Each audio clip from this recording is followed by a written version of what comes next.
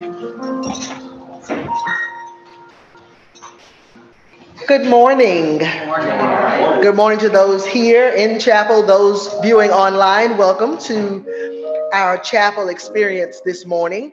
For those who are here in the space with me, we'll do the call to worship and prayer. So if you'll stand. And those online, you may have the information as well. So feel free to participate as if you are in the room. Our call to worship begins this way. Great is the Lord and greatly to be praised. His greatness is unsearchable. Great is the Lord and greatly to be praised. One generation shall laud your works to another and shall declare your mighty acts. Great is the Lord and greatly to be praised. On the glorious splendor of your majesty and on your wondrous works we will meditate. Great is the Lord and greatly to be praised. The might of your awesome deeds shall be proclaimed, and we will declare your greatness. Great is the Lord and greatly to be praised. Let us bow for a moment of prayer. Let everything that hath breath Praise the Lord. God, as we continue to celebrate Black History Month, we pause in this moment to give you praise. We praise you for the tenacity of a people who suffered and persevered, a people who struggled and overcame, a people who were cut off but survived through their connection with you. God, grant us an ounce of the faith of those whose bodies were bound and bloody, but whose faces were still turned to you. God, we give you praise for the riches of that history and for how we are able to continue to build on the backs and stand on the shoulders of those who came before us. We praise you for this day as we gather in your name to experience your grace and your greatness. You, oh God, are worthy to be praised. So, God, we pause the busyness of this day. We breathe in your glory and we say, Let everything that hath breath Praise the Lord. We offer this prayer of praise in the name of Jesus. Amen and amen. If you remain standing for our congregational hymn, On Christ the solid rock I stand.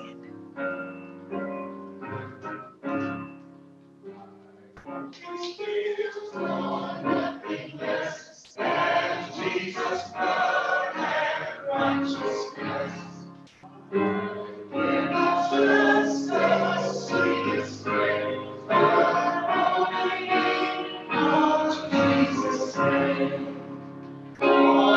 like the sun.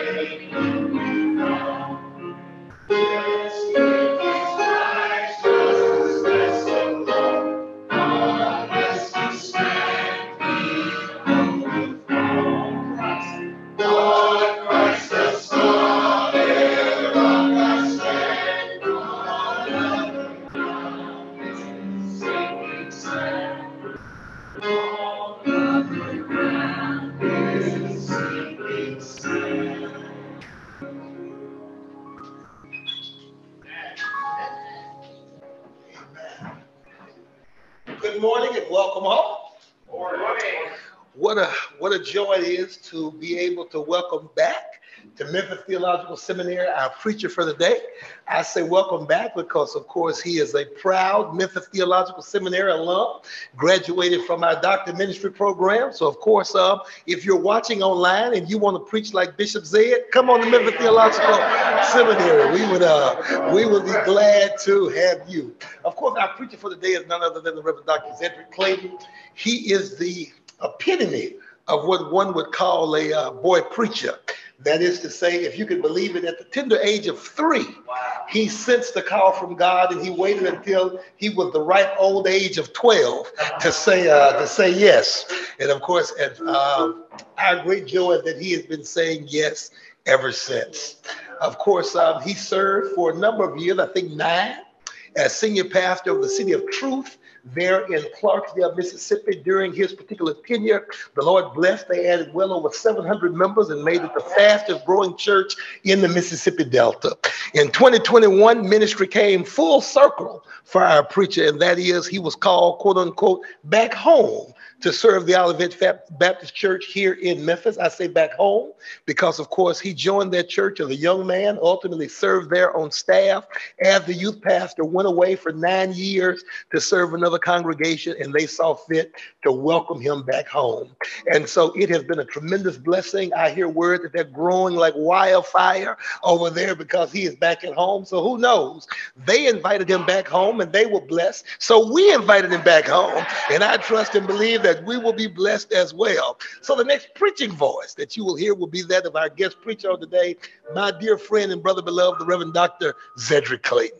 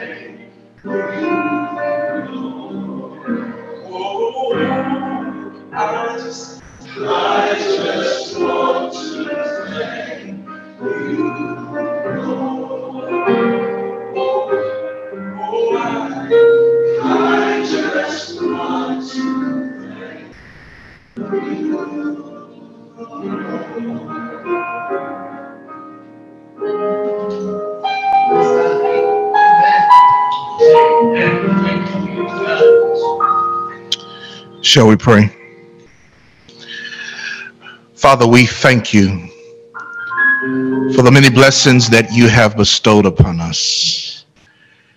We thank you that in through all that we've gone through, we've learned to trust you. We've learned to depend on your word.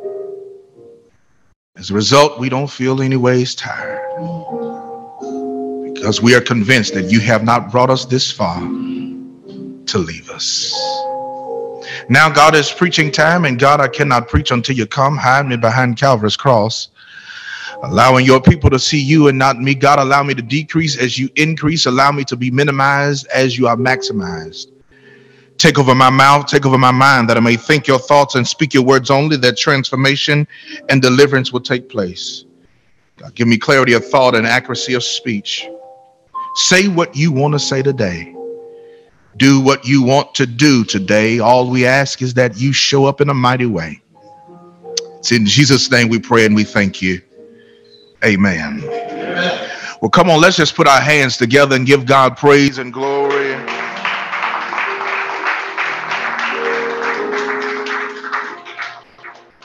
Truly it is an honor to be able to be back home and to share here uh, in chapel service and to our president, Dr. Hill, and to uh, Dr. Karen Todd, who is director of our uh, House of Black Church Studies, and to Dr. Davis, and to all our faculty and staff, we and students, we thank God for us being here, and to all that are watching online. Uh, I'm, I don't do a lot of preliminaries, and I ain't got much time anyway. So let's let's go jump right into it. Luke chapter number five. Luke chapter number five. I want to begin reading at verse number one. It says this On one occasion, reading from the English Standard Version, on one occasion, while the crowd was pressing in on him to hear the word of God, he was standing by the lake of Gennesaret. He saw two boats by the lake but the fishermen had gone out of them and were washing their nets. getting into one of the boats, which was Simon's, he asked him to put out a little from the land and sat down and taught the people from the boat. And yet, when he had finished speaking, he said to Simon, Put out into the deep and let down your net for a catch. And Simon answered, Master, we have toiled all night and have taught, took nothing, caught nothing. But at your word, I will let down the nets.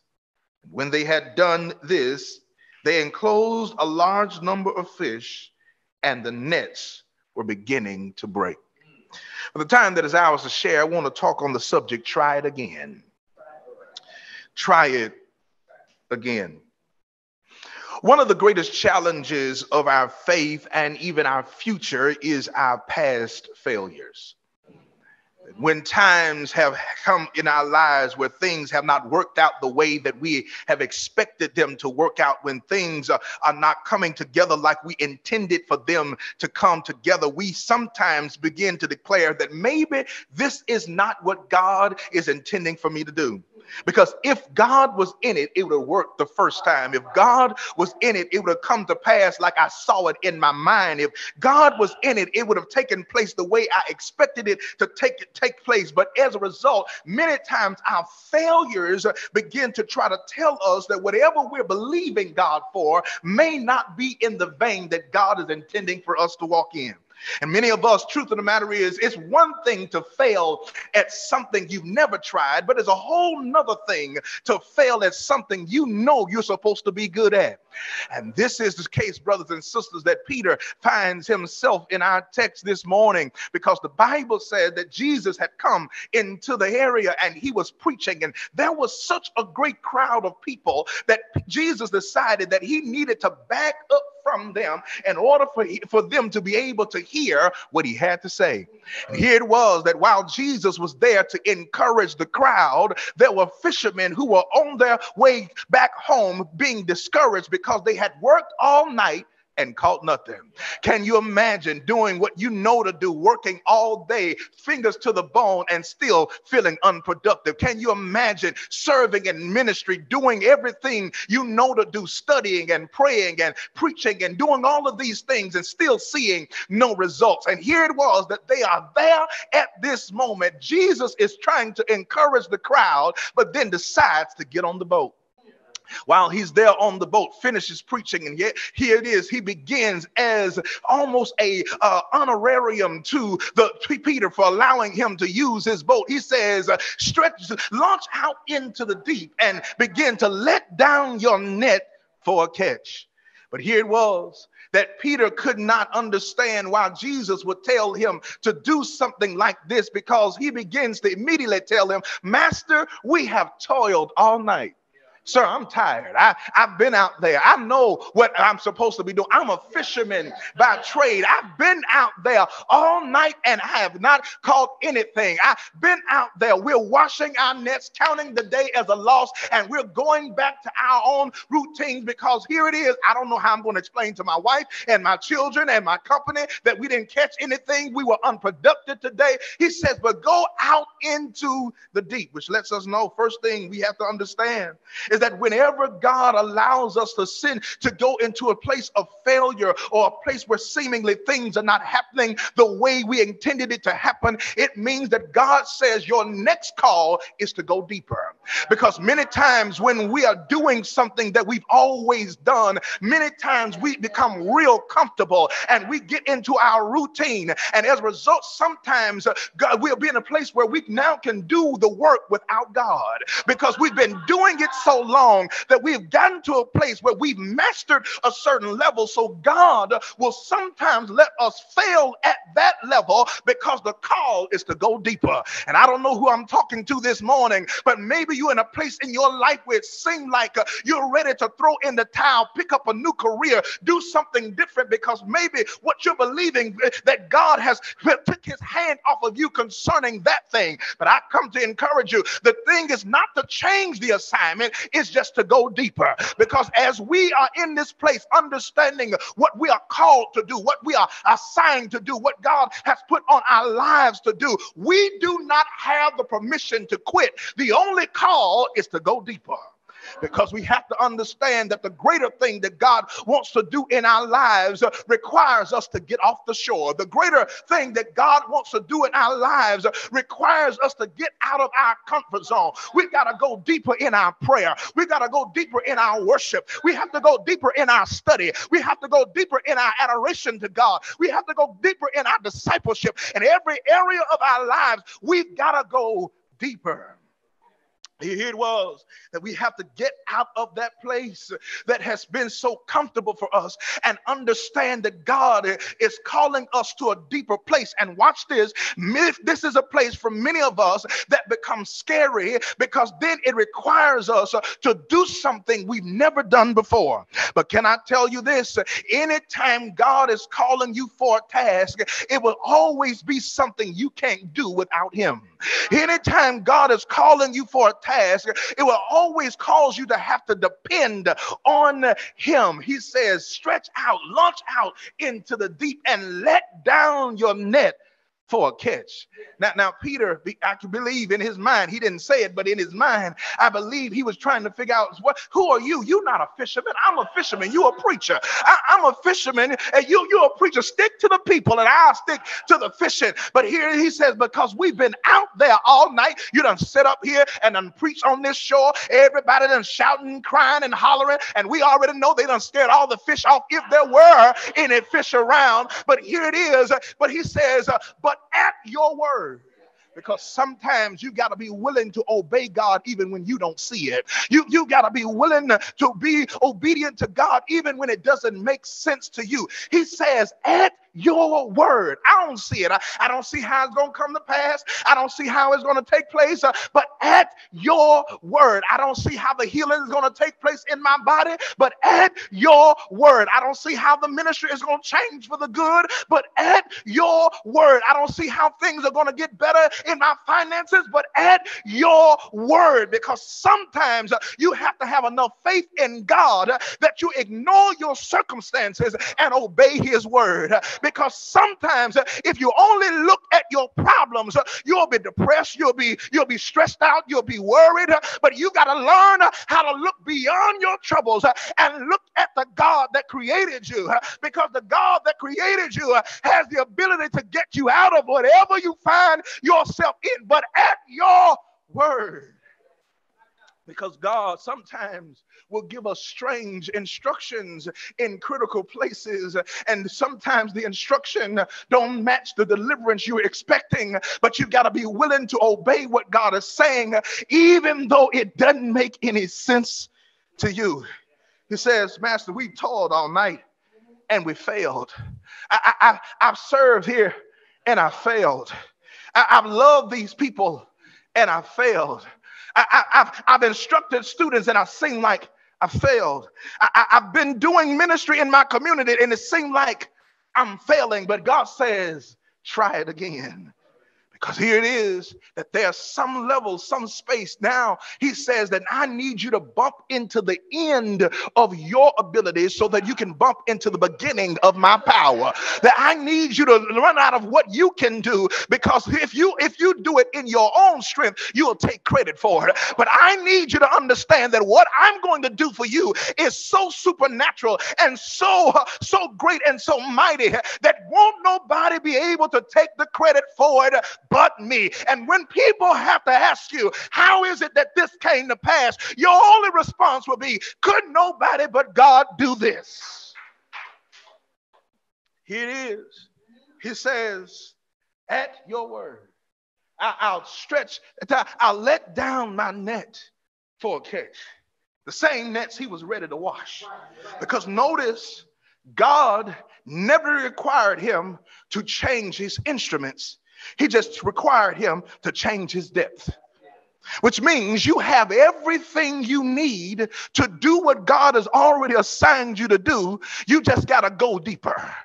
You got to go further. You cannot begin to be in a place where just because it didn't work this time does not mean it's going it's not going to work because we have to understand we serve a God that causes us to bounce back.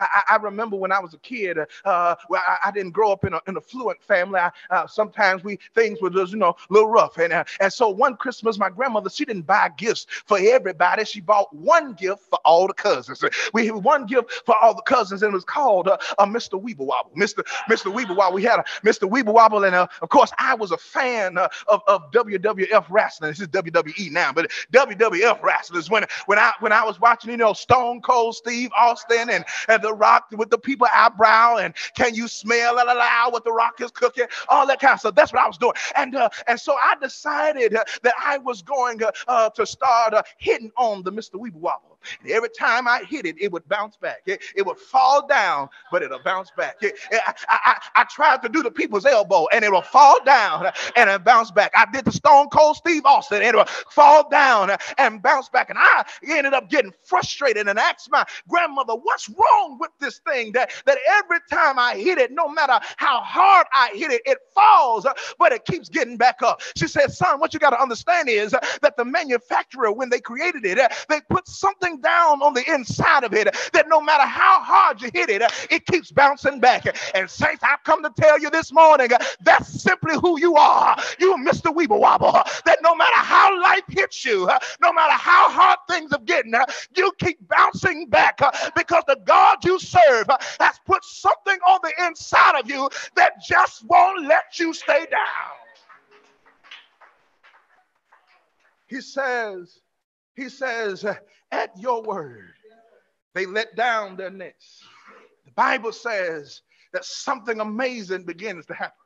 That in the same waters that they had fished and caught nothing, this time they caught such a great harvest of fish that the nets began to break. What was the difference this time? Not only was it the, the, the depth that they went in, but it was also the passenger they had. Because you have to understand, because Jesus was on the boat this time, things were going to work differently. And I'm trying to tell you that while, yes, we, we have our education and our gifts and our abilities and our anointings, but what we cannot do uh, is forget about Jesus.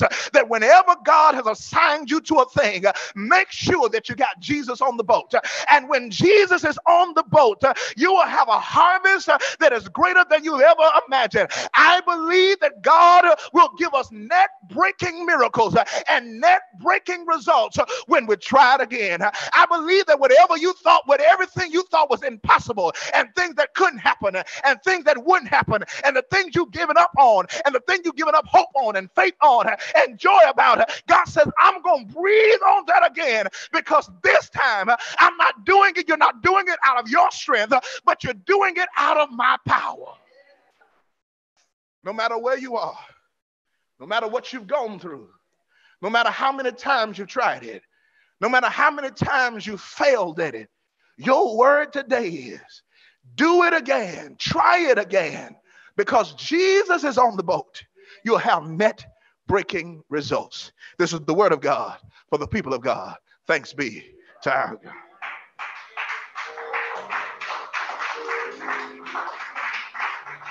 Somebody give God praise for Reverend Dr. Zedric Clayton II. I feel like I'm supposed to open the doors of the church. I don't. Try it again. Try it again. Launch out into the deep. We um, we've had some interesting meetings as of late, and for this message to come forth saying launch out into the deep and to try it again, that God will give net breaking miracles and net breaking results. And we receive that. We receive that. Don't let your failures convince you to give up. Um, in the book of Aaliyah, if at first you don't succeed, dust yourself off and try again. I am grateful for all of those who uh, are here, those who are watching, those who have been coming during uh, Black History Month. This is the month that the House of Black Church Studies hosts our chapel. Also, thank you to all uh, who came to Starks. We had our Starks event last week. We're so very grateful for um, your participation in that. And actually, I'm supposed to give the benediction, but I would like to open the floor to our president if you would like to come up. Okay. Give God praise for Reverend Dr. Jody Hill. Wow, Doctor, what a wonderful message. Thank you so much, Dr. Zedric, for gracing us with that holy word and inspiration. It was light into our path. Thank you all for worshiping with us. This is holy ground. When we gather in our Lord's name, thank you for leading us, Gary, that beautiful music. When we gather in God's presence to be light and love in this community, we truly are holy ground. Thank you for sharing in our journey. Let us receive together God's blessing for us. As Moses shared with the people Israel, that promise is still true for us. The Lord bless you and keep you. The Lord make his face shine upon you and be gracious to you the Lord lift his countenance upon you and give you peace now and forever. Amen. God bless you.